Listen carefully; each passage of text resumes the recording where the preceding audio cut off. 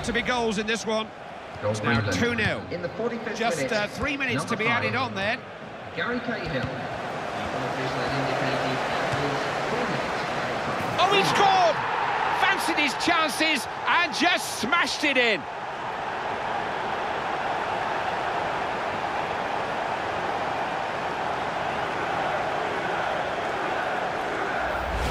He's got uh, two goals to his name now. He'll be looking for a hat-trick. Bags of quality, Clive. Lots of good tempo to their game, and, and now the confidence is oozing through their veins. They are looking unstoppable.